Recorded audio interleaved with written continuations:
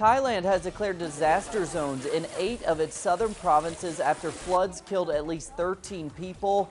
Five people have been injured in the floods and more than 184,000 households have been affected with nearly 8,000 displaced. The floods are the worst in decades to hit the Southeast Asian nation.